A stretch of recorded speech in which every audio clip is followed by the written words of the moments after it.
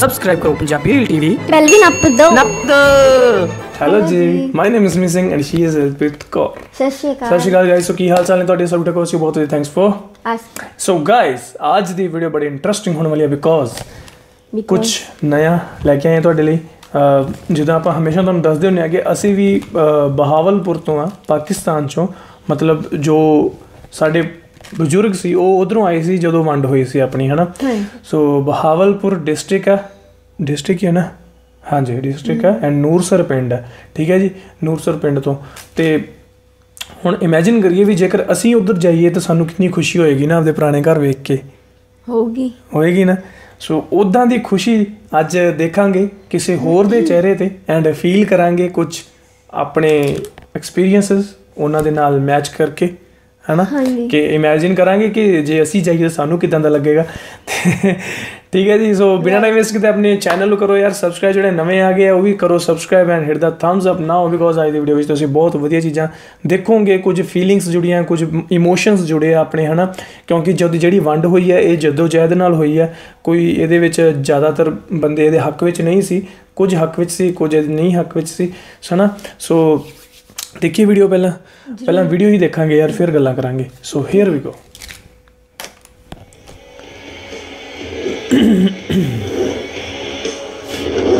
guys original video ਦਾ link ਨੀਚੇ ਹੈ please ਜਾ ਕੇ ਇਹਨਾਂ ਦਾ ਚੈਨਲ ਸਬਸਕ੍ਰਾਈਬ ਕਰ ਲਿਓ। ਹੁਣ ਪਿੰਡ ਦੇ ਮੁਕਤਲਕ ਹੁੰਦਾ ਦੇ ਮੁਕਤਲਕ ਉਹਦਾ ਜ਼ਰਾ ਇਜ਼ਹਾਰ ਕਰਨ ਕੀ ਕੀ ਵੇਖਿਆ ਤੇ ਕੀ ਕੀ ਇਹਨਾਂ ਮਹਿਸੂਸ ਕੀਤਾ। ਜਿਸ ਦੀ ਗੱਲ ਦਾ ਬਾਅਦ ਆਈ ਮੁਹੱਦਸ ਮਹਿਮਾਨ ਵੀਡੀਓ ਪ੍ਰੋ ਤਕਰੀਬਨ ਸਾਰੇ ਮੇਰਾ ਕੋ ਪੁੱਤ ਲੱਗਦਾ ਕੋ ਭਤੀਜਾ ਲੱਗਦਾ ਹੈ।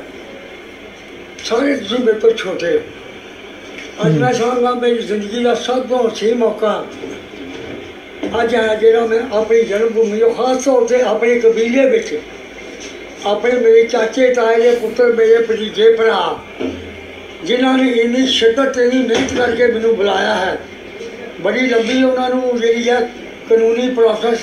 ਜਿਹੜੀ ਹੈ ਕਾਨੂੰਨੀ ਪ੍ਰੋਸੈਸ ਉਹ ਕਰਨਾ ਪਿਆ ਓ ਔਰ ਮੇਰਾ ਤੇ ਉਹਨਾਂ ਬਿਲਕੁਲ ਉਹਨਾਂ ਨੇ ਕੰਮ ਤਿਆਰ ਕਰਕੇ ਪੁੱਛਿਆ ਚਾਹੋ ਹੁਣ ਤੁਸੀਂ ਵੀਜ਼ਾ ਲਗਵਾ ਦਿਓ ਨਹੀਂ ਤੇ ਵੀਜ਼ਾ ਲੱਗਣਾ it's not an easy job ਹੂੰ ਜਦੋਂ ਮੈਂ ਵੀਜ਼ਾ ਉਹ ਮੈਂ ਬਾਅਦ 'ਚ ਕਰਾਂਗਾ ਜਿਹੜਾ ਸਾਨੂੰ ਜਿਹੜਾ ਮੈਨੂੰ ਪਿਆਰ ਇੱਥੇ ਮਿਲ ਰਿਹਾ ਮੈਂ ਬੜਾ ਇਮੋਸ਼ਨਲ ਹੋ ਜਾਣਾ ਖਾਸ ਤੌਰ ਤੇ ਕਿ ਜਦੋਂ ਛੋਟੇ ਛੋਟੇ ਜਿਹੇ ਬੱਚੀਆਂ ਚਾਰ ਚਾਰ ਪੰਜ ਪੰਜ ਸਾਲ ਦੀਆਂ ਪੰਜ ਪੰਜ ਛੇ ਛੇ ਸਾਲ ਦੇ ਲੜਕੇ ਸਾਡੇ ਤੇ ਮੇਰੀਆਂ ਜਵਾਨ ਦੀਆਂ 14 15 15 ਸਾਲ ਦੀਆਂ ਮੇਰੀਆਂ ਪੋਤੀਆਂ ਪੜੋਸੀਆਂ ਦੇ ਬਰਾਬਰ। ਉਹ ਜਦੋਂ ਆ ਕੇ ਮੈਨੂੰ ਮਿਲਣ ਆਉਂਦੀਆਂ ਨੇ ਕਿ ਮੈਂ ਮੇਰਾ ਕਲੇਜਾ ਜਿਹੜਾ ਜੇ ਨਾ ਰੋ ਵੀ ਪੈਣਾ ਤੇ ਬਾਗੋ ਆ ਗਏ। ਇਹ ਅੱਲਾ ਇਹ ਪਰਵਰਗਾਰ ਜਿਨ੍ਹਾਂ ਸਿੱਟੋਂ ਮਸਾਂ ਵੇਖਿਆ ਇਹ ਦੁਬਾਰਾ ਕਿਸੇ ਨੂੰ ਵਿਖਾਈ ਨਾ। ਨਾ ਵਿਖਾਈ ਕਿਸੇ ਨੂੰ।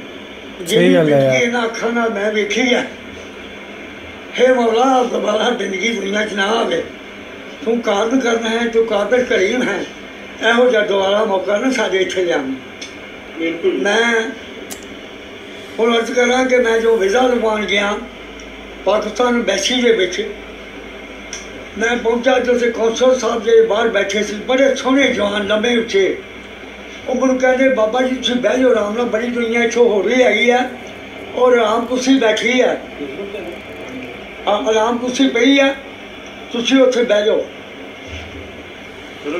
ਤੁਸੀਂ ਬਹਿ ਜਾਓ ਤੇ ਅੱਛਾ ਤੁਹਾਡਾ ਹੁਣੇ ਤੁਹਾਨੂੰ ਆਵਾਜ਼ ਮਾਰਨੀ ਜਦੋਂ ਕਿ ਬਾਕੀ ਲੋਕ ਦੇ ਨੇ ਉਹ ਆਮ ਕੁਰਸੀਆਂ ਬੈਠਾ ਕੇ ਬੈਠੇ ਮੈਨੂੰ ਕੁਰਸੀ ਦਿੱਤੀ ਗਈ ਆਮ ਕੁਰਸੀ ਪੱਖਾ ਲੱਗਾ ਸੀ।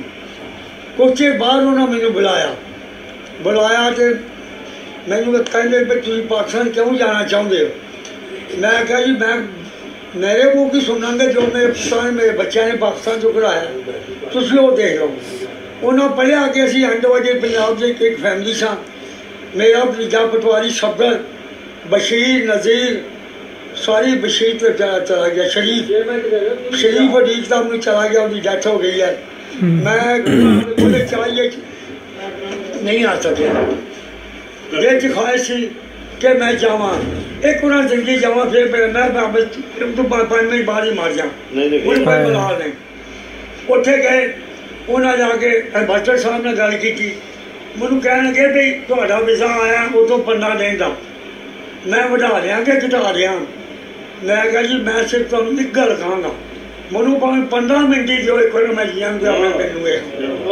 ਮੇਰੀ ਜ਼ਿੰਦਗੀ ਦੀ ਖੁਆਇਸ਼ ਹੈ ਉਹ ਜਦੋਂ ਉਹਨਾਂ ਮੈਨੂੰ ਦੇਖਿਆ ਤੇ ਉਹ ਕਹਿਣ ਲੱਗੇ ਤੁਹਾਡੀ ਉਮਰ ਕਿੰਨੀ ਹੈ ਮੈਂ ਕਿਹਾ ਜੀ ਵੀ ਉਮਰ ਮੇਰੀ ਹੁਣ 86 ਸਾਲ ਹੋ ਗਈ ਹੋ ਕਾਫੀ ਉਮਰ ਹੈ ਨਾ ਉਹ ਮੈਂ ਉੱਥੇ ਮੋਸ਼ਨ ਮੋਸ਼ਨ ਹੋ ਗਿਆ ਤੇ ਮੈਨੂੰ ਉਹ ਯਾਦ ਆਇਆ ਜੀ ਦਿਲ ਹੀ तो है न संगो खश दर्द से भर न आए क्यों और रोएंगे हम हजार बार कोई हमें सताए क्यों ਮੈਂ ਜਦੋਂ ਮੈਂ ਜਦੋਂ ਕਿਹਾ ਤੇ ਉਹਦੀ ਅੱਖਾਂ ਪੁੰਨ ਲੱਗ ਗਈ ਕਹਿੰਦੇ ਬਾਬਾ ਜੀ ਤੁਹਾਡਾ ਸੀ ਵਿਜ਼ਾ ਨਾ ਦੱਸ ਦੇਣ ਨਾ ਪਰਦਾ ਦੇ ਤੁਹਾਡਾ ਵਿਜ਼ਾ ਪੂਰੇ ਮਹੀਨੇ ਦਾ ਲਾਤਾ ਜੀ।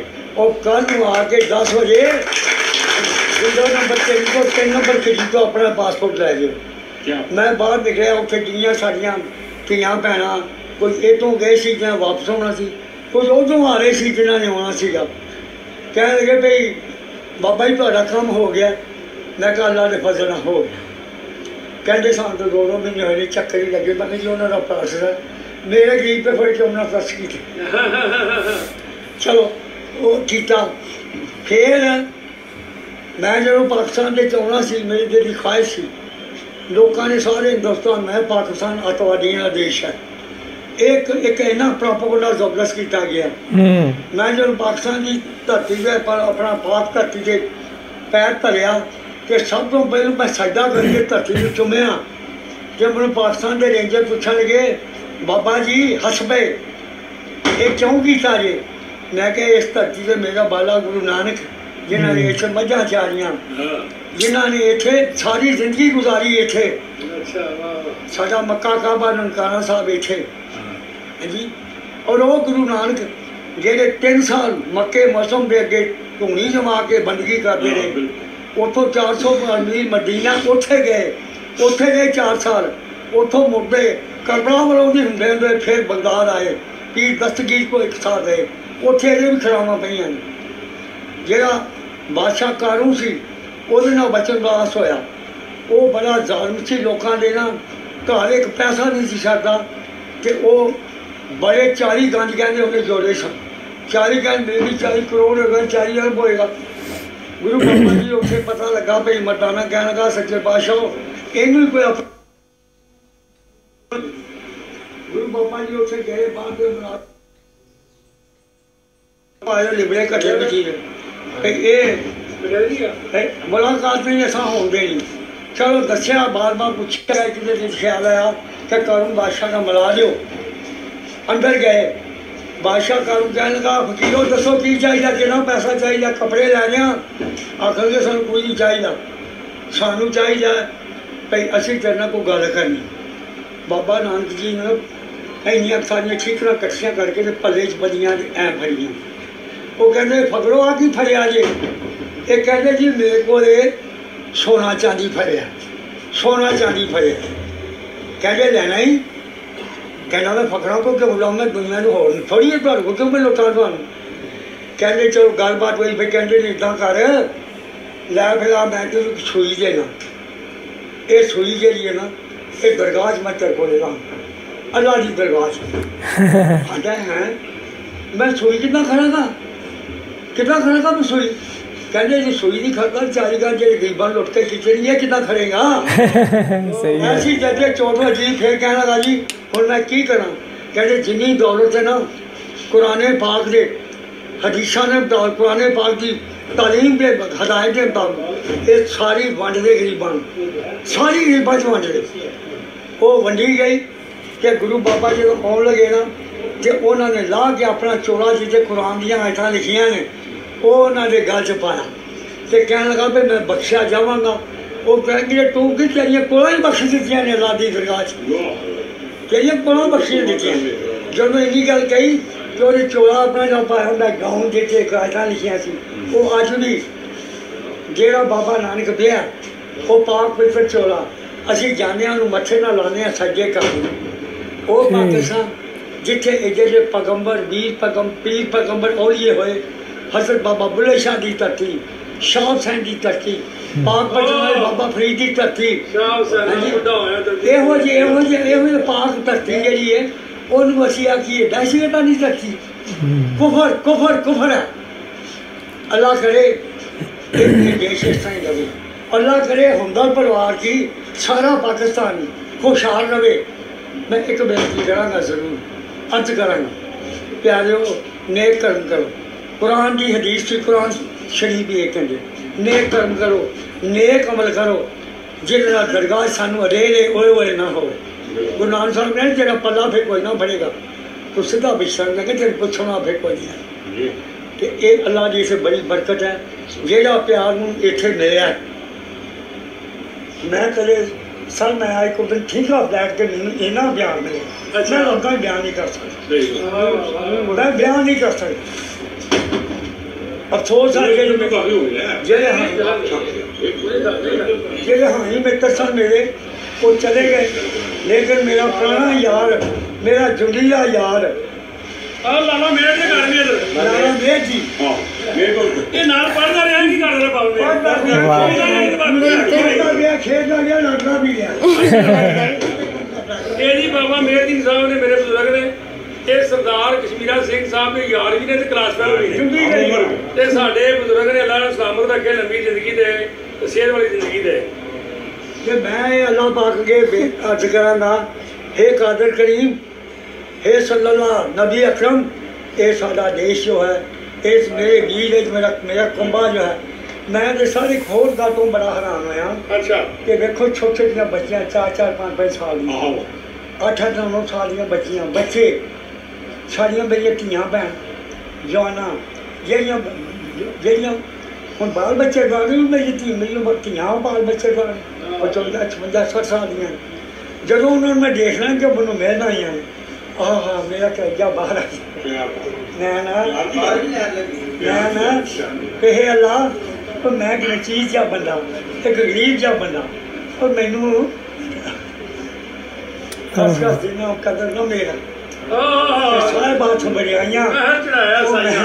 ਉਹ ਮੈਂ ਗਲੀਆਂ ਦਾ ਰੂੜਾ ਰੂੜਾ ਮੈਂ ਚੜਾਇਆ ਆਹਾ। ਮੈਂ ਵੀ ਚੜਾਤਾ ਹੀ ਸ਼ੁਕਰ ਹੈ ਸ਼ੁਕਰ ਹੈ ਸ਼ੁਕਰ ਹੈ। ਅੱਲਾ ਦਾ ਸ਼ੁਕਰ। ਅਜਾ ਸਰਦਾਰ ਜੀ ਤੁਸੀਂ ਕਿੰਨੇ ਭਰਾ ਹੋ ਮਾਸ਼ਾਅੱਲਾ? ਅਸੀਂ ਤੇ ਸਾਰੇ ਦਿਦਾਰ ਮਰ ਗਏ ਤਿੰਨ ਮਰ ਗਏ ਸਰ ਮੇਰੇ ਤੋਂ ਕਿਹੜੇ ਭਾਈ ਸਾਹਿਬ? ਪਾਪਾ ਜੀ ਭਾਈ? ਪੰਜ ਭਾਈ। ਕੀ ਨਾਮ ਸਰ ਬੁਲਾਓਗੇ ਵੱਡੇ ਨਾਲ ਵਿਰਸਾ ਸਿੰਘ। ਸਾਡਾ ਚਾਚਾ ਚੌਧਰੀ ਮਾਨਸਾ ਜੀ ਵਿਰਸ ਕਹਿੰਦਾ ਰਹੇ ਪਿਆਰ ਨਾਲ। ਚਾਚਾ? ਵਿਰਸ ਚੌਧਰੀ ਮਾਨਸਾ ਅੱਛਾ। ਇਹਨਾਂ ਦੇ ਪਿਤਾ ਜੀ। ਪਿਆਰ ਨਾਲ ਸ਼ੌਕ ਨਾਲ ਕੋਈ ਵਿਰਸ ਹੈ ਕੋਈ ਕੀ ਕਰਨਾ? ਤੇ ਦੂਸਰੇ ਕੀ ਨਾਮ ਸੀ? ਉਹ ਦੂਸਰਾ ਦਲੀਪ ਸਿੰਘ। ਦਲੀਪ ਸਿੰਘ। ਹਾਂਜੀ। ਉਹ ਤੋਂ ਛੋਟਾ ਮੈਂ। ਕਸ਼ਮੀਰ ਸਿੰਘ ਅਸੀਂ ਵੇਖਿਆ। ਉਹ ਤੋਂ ਛੋਟਾ ਪੂਰਨ ਸਿੰਘ। ਉਹ ਤੋਂ ਛੋਟਾ ਪੂਰਨ ਸਿੰਘ। ਪੂਰਨ ਸਿੰਘ। ਹਾਂ ਉਹ ਤੋਂ ਛੋਟਾ ਪ੍ਰੀਤਮ ਸਿੰਘ। ਪ੍ਰੀਤਮ? ਪ੍ਰੀਤਮ। ਹਾਂ। ਹਾਂ ਪ੍ਰੀਤਮ ਜੇ ਮੈਂ ਜਾਣਦੀ ਪ੍ਰੀਤ ਕੀ ਹੈ ਦੁਖ? ਹੋ। ਨਗਨ ਡੋਰਾ ਮੈਂ ਪੀੜਦੀ। ਪ੍ਰੀਤ ਕਰੇ ਨਾ ਕੋ। had known the pain of love, I would have proclaimed from door to door. Love, love, love, love. ਹੈਂ? ਐਨ ਇਸ਼ਕ ਦੇ ਰਫਰੀ ਤੇਰੇ ਯਾਰੋ ਇਹਨੇ ਰੱਖ ਲੈ ਸਮਝਾਉਣੇ ਨੂੰ। ਐਨ ਦਾ ਮੂੰਹ ਖੁੱਲਾ ਬਾਂਹ ਕਬਰ ਯੁੰਦੀ ਜਾਨ ਅਸ਼ਰ ਦੀ ਖਾਣੇ ਨੂੰ। ਵਾਹ ਵਾਹ। ਸੀ ਨਾਰੀ ਸਮਾਜ ਆਰੀ ਮਸਾਜ ਸਮਝੋ। ਉੱਤੇ ਰੱਖ ਲੈ ਨਹੀਂ ਨੁਕਤੇ ਬੋਝ ਉਠਾਣੇ ਨੂੰ। ਤੇ ਕਾਫ ਦੋ ਨੁਕਤੀਏ ਘੇਰਾ ਪਾ ਲਿਆ ਕਿਸੇ ਰਾਹ ਨਾ ਜਾਣ ਬਚਾਓ ਤੇ ਯਾਰ ਕੀ ਨਾਮ ਹੈ ਹਾਂਜੀ ਓ ਗਾਇਸ ਸੋ ਇਹ ਸੀ ਅੱਜ ਦੀ ਵੀਡੀਓ ਔਸਮ ਯਾਰ। ਔਸਮ ਵਾਕਈ ਔਸਮ ਮਤਲਬ ਇਹ- ਵੀਡੀਓ ਸੀ। ਇਧਰੋਂ ਗਏ ਪਾਕਿਸਤਾਨ ਵਿੱਚ ਐਂਡ ਪਾਕਿਸਤਾਨ ਵਿੱਚ ਉਹਨਾਂ ਨੇ ਆਪਣੇ ਯਾਰ ਨੂੰ ਮਿਲੇ। ਆਪਣੇ ਕਲਾਸ ਫੈਲੋ ਨੂੰ ਮਿਲੇ ਆਪਣੀ ਫੈਮਲੀਜ਼ ਨੂੰ ਮਿਲੇ ਹਨਾ? ਤੇ ਕਿੰਨਾ ਚੰਗਾ ਲੱਗਦਾ ਯਾਰ। ਮਤਲਬ ਇਧਰੋਂ ਜਾ ਕੇ ਜਦੋਂ ਉਧਰ ਜਾ ਕੇ ਇੰਨਾ ਪਿਆਰ ਮਿਲਦਾ ਹੈ, ਹਾਂਜੀ। ਹਨਾ? ਹੁਣ ਸਾਰੇ ਆਪਸ ਚ ਪਿਆਰ ਕਰਦੇ ਆ। ਪਤਾ ਨਹੀਂ ਇਹ ਜਿਹੜੀ ਮੀਡੀਆ ਹੈ ਇਹ ਕਿਉਂ ਪਿੱਛੇ ਪਈ ਹੈ ਇੰਡੀਆ ਤੇ ਪਾਕਿਸਤਾਨ ਦੇ ਰਿਲੇਸ਼ਨਸ ਨੂੰ ਲੈ ਕੇ? ਕਿਉਂ ਇੰਨਾ ਖਰਾਬ ਕਰਨਾ ਚਾਹੁੰਦੀ ਹੈ? ਗੱਲ ਸਮੇਂ ਤੋਂ ਬਾਹਰ ਹੁੰਦੀ ਜਾਂਦੀ ਹੈ ਕਿਉਂ? ਹੁਣ ਜਿਵੇਂ ਆਪਾਂ ਇਸ ਵੀਡੀਓ 'ਚ ਵੀ ਦੇਖਿਆ ਉਹਨਾਂ ਨੇ ਜਦੋਂ ਸੂਈ ਦਾ ਸੂਈ ਵਾਲੀ ਤੇ ਮੋਹਰਾਂ ਦੀ ਗੱਲ ਕੀਤੀ ਹੈ ਨਾ ਐਗਜ਼ਾਮਪਲ ਦਿੱਤੀ ਹੈ ਕਿ ਕਿ ਉਹ ਬਾਦਸ਼ਾਹ ਨੂੰ ਗੁਰੂ ਨਾਨਕ ਸਾਹਿਬ ਨੇ ਸੂਈ ਦੇਤੀ ਐਂਡ ਕਿਹਾ ਕਿ ਮੈਨੂੰ ਦਰਗਾਹ ਵਿੱਚ ਇਹ ਵਾਪਸ ਕਰੀ ਹਨਾ ਵੀ ਜਦੋਂ ਬਾਅਦ ਵਿੱਚ। ਉਹ ਕਹਿੰਦਾ ਮੈਂ ਸੂਈ ਕਿਵੇਂ ਸੰਭਾਲੂੰਗਾ? ਤੇ ਉਹ ਕਹਿੰਦੀ ਵੀ ਇੰਨੀ ਜਗ੍ਹਾ ਫਿਰ ਕਿੱਥੇ ਲੈ ਕੇ ਜਾਏਗਾ ਵੀ ਇਹ ਵਾਪਸ ਕਿਵੇਂ ਕਰੇਗਾ ਫਿਰ? ਹਨਾ? ਵੀ ਕਹਿਣ ਦਾ ਮਤਲਬ ਵੀ ਜਿਹੜਾ ਆਪਾਂ ਜ਼ਿੰਦਗੀ ਵਿੱਚ ਕਮਾਉਨੇ ਆ ਹਨਾ ਚੀਜ਼ਾਂ ਸਾਂਭ ਸਾਂਭ ਰੱਖਦੇ ਆ ਕਿ ਆ ਮੇਰੀ ਹੈ ਮੇਰੀ ਹੈ ਮੇਰੀ ਹੈ ਇਹ ਨਾਲ ਤਾਂ ਕੁਝ ਵੀ ਨਹੀਂ ਜਾਣਾ। ਤੇ ਹੁਣ ਉਹੀ ਗੱਲ ਹੈ ਵੀ ਜਿਹੜੇ ਇੰਡੀਆ ਤੇ ਪਾਕਿਸਤਾਨ ਦੇ ਦੁਸ਼ਮਣ ਬਣੇ ਬੈਠੇ ਆ ਨਾਲ ਕੀ ਲੈ ਕੇ ਜਾਣਾ? ਇਹਦਾ ਮਤਲਬ ਉਹਨਾਂ ਨੇ ਲੜਾਈਆਂ ਇਹ ਆਪਸ ਚ ਪਾਉਂਦੇ ਆ ਨਾ ਇੰਡੀਅਨ ਲੋਕ ਤੇ ਪਾਕਿਸਤਾਨ ਲੋਕ ਤਾਂ ਆਪਸ ਚ ਪਿਆਰ ਕਰਦੇ ਹੀ ਨੇ।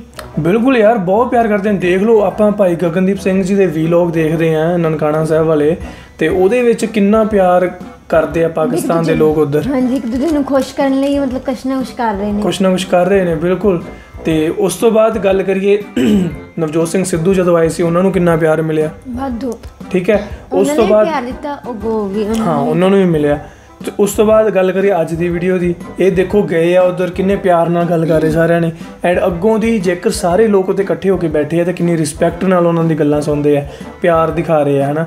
ਤੇ ਉਸ ਤੋਂ ਪਹਿਲਾਂ ਮੇਰੇ ਖਿਆਲ ਕਾਫੀ ਟਾਈਮ ਪਹਿਲਾਂ ਨਾ ਆਪਾਂ ਇੱਕ ਇਦਾਂ ਦੀ ਹੋਰ ਵੀਡੀਓ ਵੇਖੀ ਸੀ ਉਹ ਮਾਤਾ ਜੀ ਸੀ ਬਜ਼ੁਰਗ ਮਾਤਾ ਜੀ ਸੀ ਉਹ ਕਾਫੀ 90 ਅਬਵ ਸੀਗੇ। ਉਹ ਪਾਕਿਸਤਾਨ ਵਿੱਚ ਗਏ ਸੀ ਠੀਕ ਹੈ? ਤੇ ਉਹਨਾਂ ਨੂੰ ਵੀ ਇਦਾਂ ਹੀ ਇਕੱਠੇ ਹੋ ਕੇ ਸਾਰਿਆਂ ਨੇ ਪਿਆਰ ਕਰ ਰਹੇ ਸੀ ਆਪਾਂ ਉਹ ਵੀਡੀਓ ਦੇਖੀ ਸੀ। ਹਾਂਜੀ। ਹੈਨਾ? ਸੋ ਕਹਿਣ ਦਾ ਮਤਲਬ ਇਹ ਆ ਕਿ ਜੇਕਰ ਸਾਰੇ ਇੱਕ ਦੂਜੇ ਨਾਲ ਇੰਨਾ ਪਿਆਰ ਕਰਦੇ ਆ ਆਪਾਂ ਜੋ ਲੋਕ ਆ ਆਮ ਲੋਕ ਆ ਹਨਾ? ਜਿਨ੍ਹਾਂ ਨੂੰ ਇੰਨਾ ਪੋਲਿਟਿਕਸ ਦੀਆਂ ਚੀਜ਼ਾਂ ਨਾਲ ਕੋਈ ਲੈਣਾ ਦੇਣਾ ਨਹੀਂ ਕੋਈ ਮਤਲਬ ਨਹੀਂ ਤੇ ਇਹਨਾਂ ਵਿਚਾਰਿਆਂ ਦਾ ਕੀ ਕਸੂਰ ਹੈ? ਇਹ ਤਾਂ ਇੱਕ ਦੂਜੇ ਨਾਲ ਮਿਲ ਹੁਣ ਜਿਵੇਂ ਇਹਨਾਂ ਨੂੰ ਵੀਜ਼ਾ ਵੀ ਮਿਲਣਾ ਸੀ ਕਿੰਨਾ ਔਖਾ ਮਿਲਿਆ। ਹਨਾ? ਹਾਂਜੀ ਔਖਾ ਮਿਲਦਾ ਵੀਜ਼ਾ। ਇਸੇ ਕਰਕੇ ਤਾਂ ਅਸੀਂ ਆ ਨਹੀਂ ਦੇ ਐਂਡ ਜਿਹੜੇ ਦੇਖ ਆਪਾਂ ਨੂੰ ਇਹਨਾਂ ਨੇ ਦੱਸਿਆ ਵੀ ਜਦੋਂ ਇਹ ਬਾਹਰ ਆਏ ਸੀ ਵੀਜ਼ਾ ਆਫਿਸ ਚੋਂ ਐਂਡ ਜਿਹੜੇ ਉਹ ਕਹਿ ਰਹੇ ਸੀ ਸਾਨੂੰ ਤਾਂ 2-2 ਮਹੀਨੇ ਹੋ ਗਏ ਭਗਾਈ ਕਰਦਿਆਂ ਨੂੰ ਹਨਾ? ਹਾਂਜੀ। ਤਾਂ ਕਿੰਨਾ ਔਖਾ ਹੁੰਦਾ ਯਾਰ ਜਿਹੜਾ ਇੱਕ ਪ੍ਰੋਪਗੈਂਡਾ ਬਣਾਇਆ ਹੋਇਆ ਪਾਕਿਸਤਾਨ ਨੂੰ ਲੈ ਕੇ ਕਿ ਪਾਕਿਸਤਾਨ ਇੱਕ ਟੈਰਰਿਸਟ ਕੰਟਰੀ ਹੈ ਤੇ ਉਹਦੇ ਕੇ ਚੱਲਦੇ ਹੋਏ ਪਾਸਪੋਰਟ ਤੇ ਠੱਪਾ ਲਵਾਉਣਾ ਪਾਕਿਸਤਾਨ ਦਾ ਉਹ ਸਾਰੇ ਥੋੜਾ ਜਿਹਾ ਝਿਜਕਦੇ ਆ ਇਸ ਚੀਜ਼ ਨੂੰ ਲੈ ਕੇ। ਪਾਕਿਸਤਾਨ ਵਾਲੇ ਵੀ ਕਹਿੰਦੇ ਆ ਇੰਡੀਆ ਵਾਲੇ। ਹਾਂ ਇਨ ਪਾਕਿਸਤਾਨ ਵਾਲੇ ਨੂੰ ਵੀ ਇੰਡੀਆ ਵਿੱਚ ਵੀਜ਼ਾ ਨਹੀਂ ਮਿਲਦਾ ਜ਼ਿਆਦਾਤਰ ਨਹੀਂ ਮਿਲਦਾ। ਜੇਕਰ ਤੁਸੀਂ ਦੇਖ ਲਓ ਨਾ ਕੋਈ ਮੁਸਲਿਮ ਬੰਦਾ ਫੋਰਨ ਵੀ ਰਹਿ ਰਿਹਾ ਫੋਰਨ ਦਾ ਉਹਦੇ ਕੋਲ ਪੀਆਰ ਆ ਫੋਰਨ ਦਾ ਵੀ ਮਤਲਬ ਵਸਨੀਕ ਹੈ ਤਾਂ ਉਹਨਾਂ ਨੂੰ ਵੀ ਇੰਡੀਆ ਦਾ ਵੀਜ਼ਾ ਨਹੀਂ ਮਿਲਦਾ। ਜਿਵੇਂ ਰਹੀਮ ਪਰਦੇਸੀ ਆ ਉਹਦੀਆਂ ਵੀ ਇੱਕ ਦੋ ਗੱਲਾਂ ਹੋਈਆਂ ਸੀ ਕਿ ਉਹਨੂੰ ਇੰਡੀਆ ਦਾ ਵੀਜ਼ਾ ਮਿਲ ਨਹੀਂ ਰਿਹਾ ਹਨਾ? ਸੋ ਇਹ ਪਤਾ ਨਹੀਂ ਕਦੋਂ ਇਹ ਚੀਜ਼ਾਂ ਸੌਟ ਆਊਟ ਹੋਣਗੀਆਂ ਯਾਰ। ਬਾਕੀ ਅੱਜ ਦੀ ਵੀਡੀਓ ਦੇਖ ਕੇ ਤਾਂ ਰੂਹ ਖੁਸ਼ ਹੋ ਗਈ। ਹਾਂਜੀ ਸਹੀ ਗੱਲ ਹੈ। ਬਹੁਤ ਅੱਛਾ ਲੱਗਾ। ਕੇ ਬਹੁਤ ਬਹੁਤ ਜ਼ਿਆਦਾ ਖੁਸ਼ੀ ਹੋਈ ਕਿ ਚਲੋ ਪਿਆਰ ਹਰ ਇੱਕ ਵੀਡੀਓ ਵੇਖ ਕੇ ਐਂ ਲੱਗਦਾ ਵੀ ਹਾਂ ਪਿਆਰ ਹੈ। ਹੂੰ।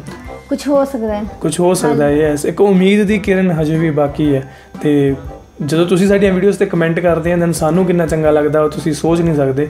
ਅਸੀਂ ਚਾਹੇ ਸਪੈਸ਼ਲ 2-3 ਘੰਟੇ ਅਲੱਗ ਤੋਂ ਬੈਠੀਏ, ਪਰ ਤੁਹਾਡੇ ਅਸੀਂ ਸਾਰੇ ਕਮੈਂਟ ਰੀਡ ਜ਼ਰੂਰ ਕਰਦੇ ਆ।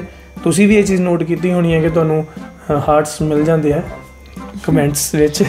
ਤੇ ਗਾਈਸ ਇਦਾਂ ਹੀ ਪਿਆਰ ਕਰਦੇ ਰਹੋ ਯਾਰ, ਤੇ ਇਦਾਂ ਹੀ ਸਾਡੀਆਂ ਵੀਡੀਓਜ਼ ਦੇਖਦੇ ਰਹੋ ਇੰਜੋਏ ਕਰਦੇ ਰਹੋ ਸ਼ੇਅਰ ਕਰਦੇ ਰਹੋ, ਤੇ ਪਿਆਰ ਹੈ ਜਿਹੜਾ, ਉਹਨੂੰ ਸ਼ੇਅਰ ਕਰਦੇ ਰਹੋ ਵਰਤਾਉਂਦੇ ਰਹੋ ਸਾਰੇ ਚ ਹਾਂਜੀ ਠੀਕ ਹੈ। ਹਾਂਜੀ ਸੋ ਇਹ ਸੀ ਯਾਰ ਅੱਜ ਦੀ ਵੀਡੀਓ ਹੋਸੋ ਤੁਹਾਨੂੰ ਚੰਗੀ ਲੱਗੀ ਹੋਣੀ ਆ ਪਲੀਜ਼ ਇਸ ਨੂੰ ਸ਼ੇਅਰ ਜ਼ਰੂਰ ਕਰਿਓ ਆਪਣੇ ਯਾਰਾਂ ਦੋਸਤਾਂ ਨਾਲ ਤਾਂ ਜੋ ਇਹ ਜਿਹੜਾ ਇੱਕ ਮਿਠਾਸ ਹੈ ਪਿਆਰ ਹੈ ਇਹਨੂੰ ਆਪਾਂ ਹੋਰ ਅੱਗੇ ਤੋਂ ਅੱਗੇ ਵਧਾ ਸਕੀਏ ਹਨਾ? ਤੇ ਵੀਡੀਓ ਨੂੰ ਲਾਈਕ ਕਰਿਓ ਤੇ ਕਮੈਂਟ ਕਰਕੇ ਵੀ ਜ਼ਰੂਰ ਜਾਇਓ ਤੇ ਜਿਹੜੇ ਆਪਣੇ ਚੈਨਲ ਤੇ ਨਵੇਂ ਸੀ ਉਹ ਵੀ ਸਬਸਕ੍ਰਾਈਬ ਜ਼ਰੂਰ ਕਰ ਲਿਓ ਯਾਰ। ਤੇ ਅਸੀਂ ਮਿਲਾਂਗੇ ਤੁਹਾਨੂੰ ਕਿਸੇ ਹੋਰ ਵੀਡੀਓ ਦੇ ਤਦ ਤੱਕ ਲਈ ਸਾਨੂੰ ਦਿਓ ਇਜਾਜ਼ਤ। ਸਤਿ ਸ਼੍ਰੀ ਅਕਾਲ ਤੇ ਚੱਕੀ ਰੱਖੋ ਇਦਾਂ ਹੀ ਕੰਮ। ਕੰਮ। Okay.